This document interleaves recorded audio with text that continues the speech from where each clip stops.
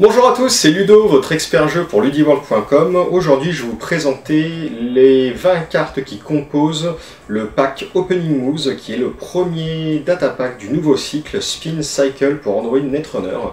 Donc on démarre sur un cycle orienté Bad Publicity, euh, les événements et opérations qui consomment deux clics au lieu d'un seul lorsqu'on les joue.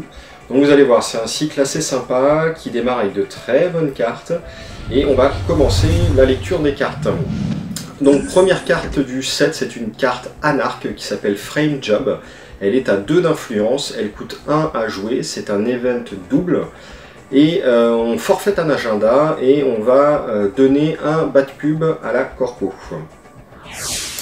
Deuxième carte, c'est un programme Kaisa qui s'appelle Pawn. Zéro d'installation, zéro du M, on l'installe sur son rig comme d'habitude. Ensuite, pour un clic, on peut hoster le pawn sur une glace en position la plus extérieure d'un serveur. Et après euh, avoir passé, euh, après avoir réussi un run, on va déplacer pawn sur la glace juste après. Et s'il n'y en a plus, eh bien, on va pouvoir prendre un programme Kaisa de sa main ou de sa poubelle et de l'installer euh, directement. Ensuite, toujours un Kaisa, c'est Rook, c'est la tour. 2 d'influence, 2 à installer, 1 du M. Pour un clic, on va euh, déplacer la tour sur une glace sur le même serveur ou sur une glace au même niveau d'un serveur différent. C'est vraiment le mouvement euh, traditionnel d'une tour, si vous préférez. Et cette carte dit euh, que le coût d'activation de toutes les glaces de ce serveur est augmenté de 2 crédits. Donc c'est vraiment très très très très fort celle-ci. Ensuite, euh, un événement double qui s'appelle Hostage, 2 d'influence, 1 à jouer. Euh, on va chercher dans son stack pour une ressource connection, on la révèle et on l'installe, en payant son coût naturellement. La carte d'après, toujours une carte criminelle, ça s'appelle Gorman Drift V1, ça coûte 1 à jouer, 1 UM, 1 influence, et en fait on va euh, le charger en compteur virus à chaque fois que la corpo euh, dépense un clic pour gagner un argent ou piocher. Le runner pour un clic et la trash du programme va gagner un crédit pour chaque marqueur virus qu'il y a sur le Gorman Grip. La carte d'après c'est Lockpick, le passe-partout. C'est une carte Shaper à 3 d'influence, c'est un hardware. Euh, qui coûte 1 à jouer, il y a un crédit récurrent sur celle-ci, et ce crédit récurrent, on peut l'utiliser pour les décodeurs, les icebreakers décodeurs. Donc c'est une bonne petite carte pour moi. Ensuite, on a un programme Shaper à 2 d'influence qui s'appelle False Echo, ça coûte 1 à jouer, 1 UM. Lorsque le runner passe une glace qui n'est pas activée, on peut tracher False Echo et à ce moment-là, la corpo a deux possibilités. Soit elle active cette glace, soit elle la remonte dans la main. Donc c'est relativement pas mal. La carte d'après est une ressource qui s'appelle Motivation. On peut voir Exil sur l'illustration. Elle est à 1 d'influence, 0 à jouer. Et elle dit qu'au début de son tour, on peut regarder la première carte de sa pioche.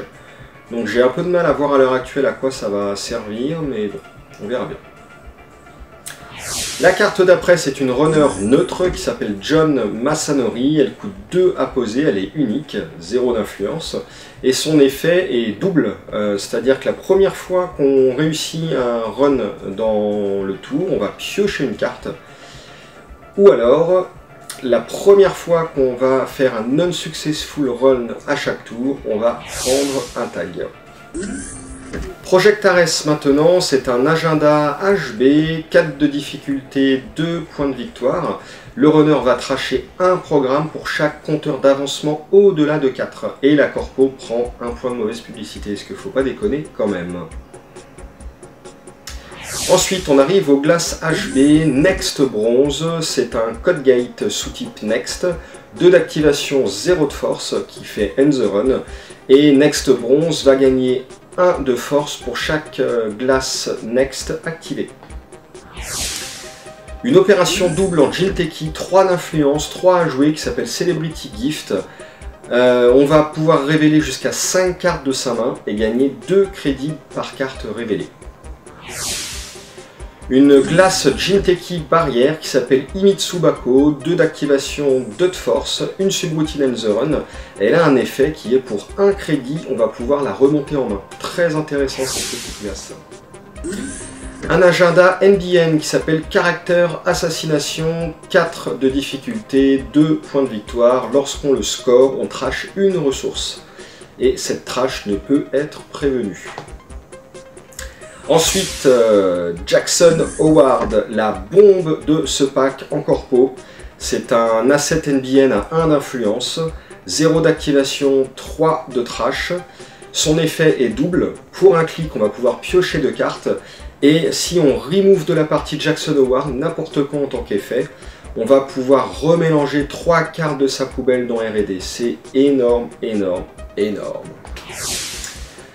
Une opération double Grey Ops en NBN, 3 d'influence, 2 à jouer, elle s'appelle Invasion of Privacy.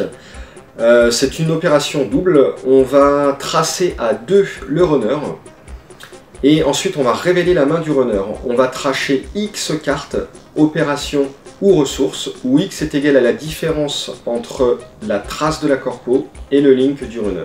Donc ça peut faire très très mal. Un agenda Wayland, géothermal fracking, 4 de difficulté, 2 points de victoire. Lorsqu'on score, on met deux agendas counter sur lui et on peut pour un clic dépenser un agenda counter pour gagner 7 crédits et un bad pub. Une glace Sentry Destroyer illicite, un nouveau sous-type DICE. Euh, ça s'appelle Swarm, 8 d'activation, 5 de force. Lorsqu'on raise Swarm, on se prend un bad publicity, c'est le principe des glaces illicites. Cette glace peut être avancée avant ou après activation et elle gagne une subroutine trash programme à moins que le runner ne paye 3 pour chaque compteur d'avancement sur elle. Donc c'est très très fort cette glace. Une opération neutre qui s'appelle Cyberdex Trial, 0 d'influence. Et cette carte dit tout simplement qu'on va purger tous les compteurs virus. Dernière carte du set, c'est une glace neutre à 2... pas 2 d'influence, non, 0 d'influence, pardon. 5 d'activation, 5 de force, elle s'appelle Grim.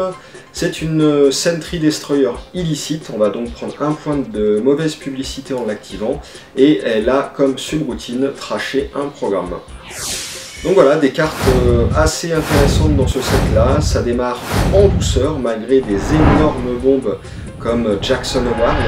Invasion of Privacy va être à mon avis pas mal non plus, Swarm c'est pas mal. Donc, euh, Caractère Assassination, c'est pareil, c'est pas mal aussi. Imitsubako, Celebrity Gift. Enfin voilà, on reviendra euh, ultérieurement sur euh, une analyse un petit peu plus poussée de l'extension, mais ça m'a l'air vraiment prometteur. Donc c'était Ludovic, votre expert jeu pour ludiworld.com. Je vous souhaite bon run dans la matrice et à bientôt